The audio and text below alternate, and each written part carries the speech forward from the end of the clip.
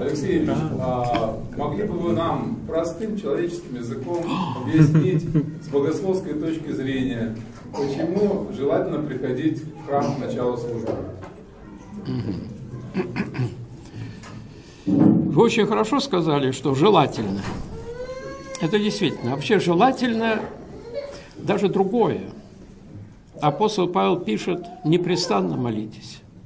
Слышите, что желательно? А вот дальше уже эта амплитуда желательности, она, сами понимаете, носит бесконечный характер. И вот здесь вы говорите к началу службы, я не знаю, что вы подразумеваете под службой, литургию или часы? Литургию. Литургию, вот видите, а я слышал такое, что часы, человек, когда придет на часы, то он немножко придет в себя. И уже к литургии он, кажется, становится готовым, готовым так уже войти в эту атмосферу богослужения. Даже так.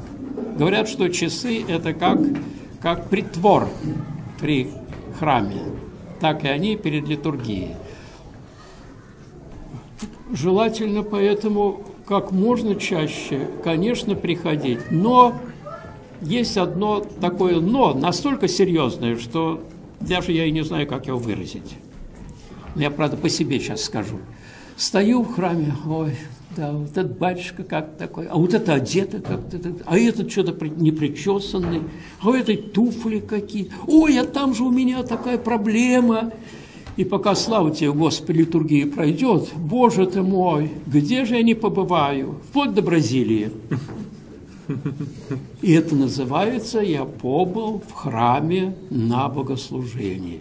Я очень, совсем как-то недавно, еще раз читая одно из самых замечательных, пожалуй, таких подвижников учителей XIX века, святителя Игнатия Бринчанинова, и там вдруг такие строки написаны.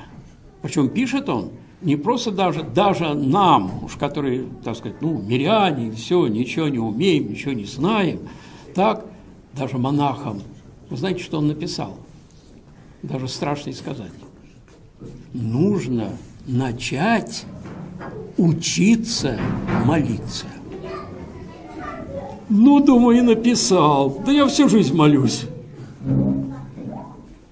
Я всю жизнь молюсь, а он говорит, надо начать учиться молиться. Вы подумайте только, насколько это было сказано, насколько серьезно, насколько ну, разумно, насколько насущно. Приходим в храм и бродим по всему свету. И часто и выходим из него такими же, какими пришли.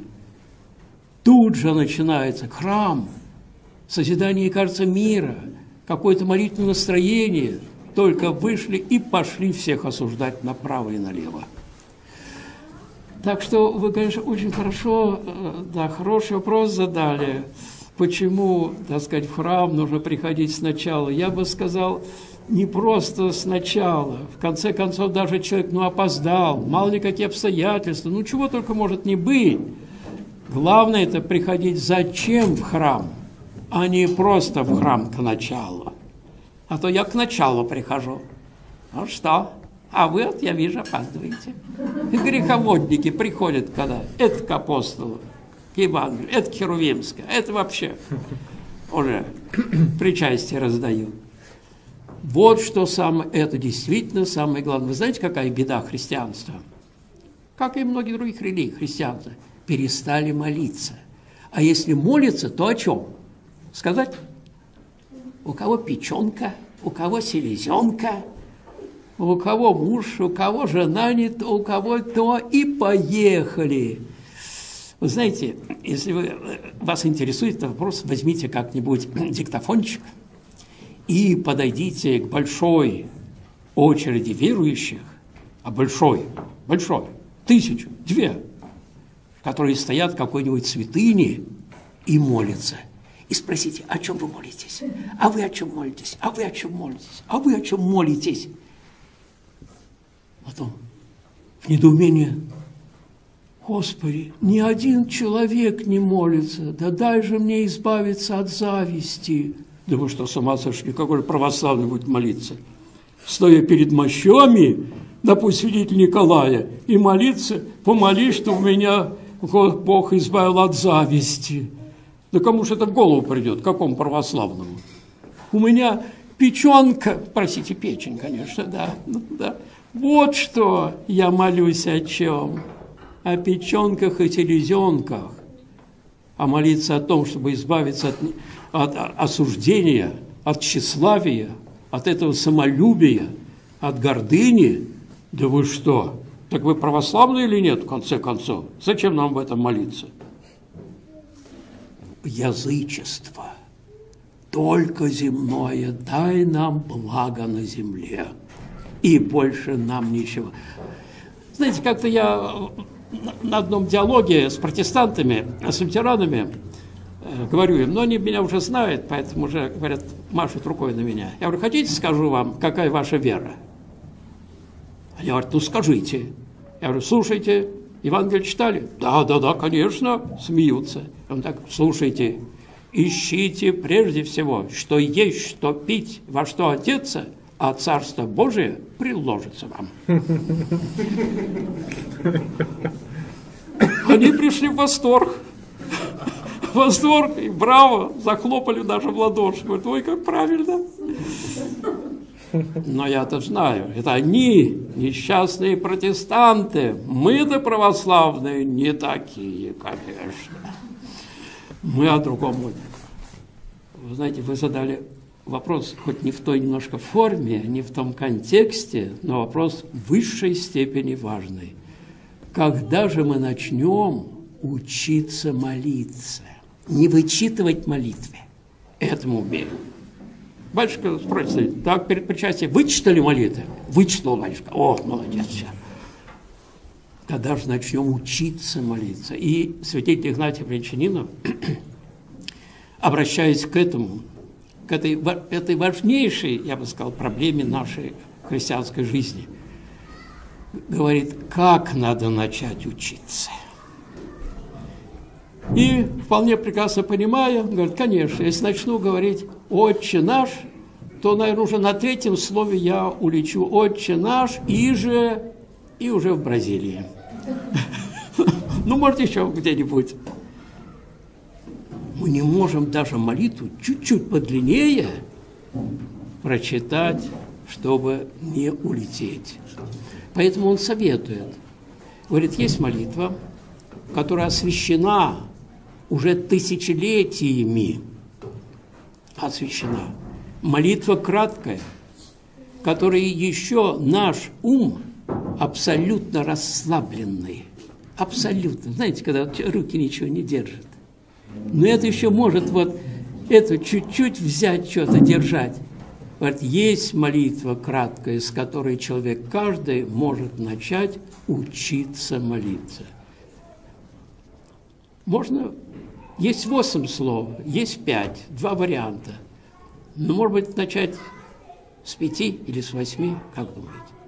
Если с восьми, то так. Господи Иисусе Христе, Сыне Божий, помилуй меня, грешен. Можно пять, это восемь много уже, уже, наверное, не дотянешь. Можно пять, Господи Иисусе Христе, помилуй меня. Пять слов, ой, успел прочитать. Не улетел, слава тебе, Господи. Вот он говорит, тот, кто действительно хочет начать учиться молиться, начни с этой молитвы. Сколько раз можешь? Раз, а может, может два, может три. Когда? В любое время. Сидим, стоим, идем, ложимся. Всегда можно. Но при условии. Молитва называется только та молитва, которая совершается с вниманием. Первое. Вниманием. Второе. С покаянием. Есть о чем вспомнить, наверное, каждому человеку. И, конечно, с благовением, потому что обращаемся мы к самому Богу, а не кому-либо. Вот так только можно начать становиться христианином. без молитвы нет вообще религии. Вы знаете, вообще религии нет. А вот христианство даже и говорить не приходится. Если нет молитвы, а есть вычитывание мантр, знаете, что такое мантра, да, в индуизме? Он даже подчас и не понимает, какие слова и произносит. Так? И если мы вместо молитвы, то есть вниманием и покаянием обращаемся к Богу, так, произносим мантры, сами не думая о чем, нет христианства, нет во мне никакой веры. И это беда страшная, потому что вы знаете, как легко привыкнуть читать молитвы, а не молиться. И, к сожалению, приучаем детей. Детей, ну, произнеси, произнес, кажется очень приятно, хорошо, и правда, пока еще маленький, только надо выучить. Не учим их к вниманию в молитве. И таким образом мы лишаем, лишаем и себя, и своих детей величайшего блага. Ибо все те, кто научился молиться, прямо говорят, прямо говорят, что, что действительно Господь отвечает на эту молитву. Господь касается души человеческой. Господь дает тогда возможность совершенно иначе воспринимать неприятности, скорби, которые же ну, у всех же есть. Совсем иначе человек начинает относиться, потому что сам Господь тогда помогает душе человеческой. Ибо скорбь имеет две стороны. Одна внешняя, а другая внутри человеческой души. Вы знаете, внешняя сторона может не измениться, когда Господь помогает, а внутри вдруг скорбь проходит. И это человек может получить только научившись, учась, я бы сказал, учась молиться. Так что спасибо вам за этот вопрос. И, может быть, мы как-то вспомним иногда, что надо начать учиться, и начнем. Вдруг неожиданно сидим, ух, пять слов. Может, произнесу? Пять слов. Ой, как много. Ну, попытаюсь.